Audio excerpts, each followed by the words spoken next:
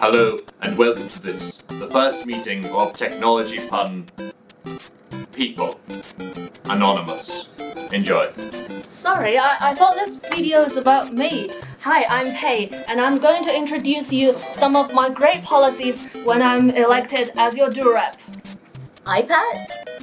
First of all, international students are subject to substantial fee changes when they come to this university. So I will beep, beep, ring, ring. iPhone. So I will lobby the university to uh, put a cap on international Have you students. seen my new phone? Oh, two. Three. T. Mobile. So, uh, so that international students can have a peace of mind when they come to this university. And also, I will petition the university to bring back reading. Don't worry, my family can help you. I have Uncle Bob, IT virus. I'll be fine.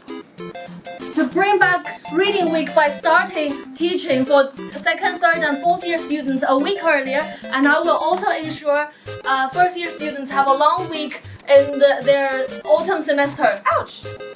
That's a hotspot. Uh, and also, I will give uh, sc- our school presidents more uh, platform to talk about their uh, their educational issues. That's a smartphone. So, what do you think of my notebook? Um, why is it full of pictures of people's heads? Uh, that's my Facebook.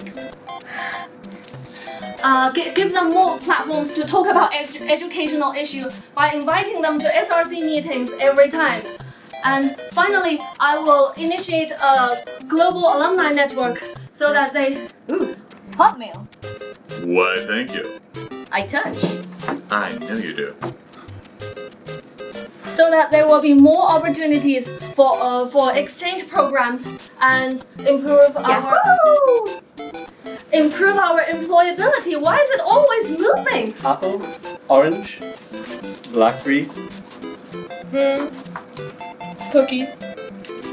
Well, as your do-rep, I will always seek uh, various ways to communicate with you.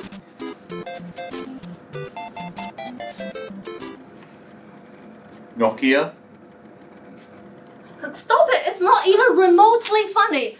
I will always seek various ways to communicate with you, such as online office hour, working mobile. What? Low battery? Come on, you've got to be kidding me. Can we have another take?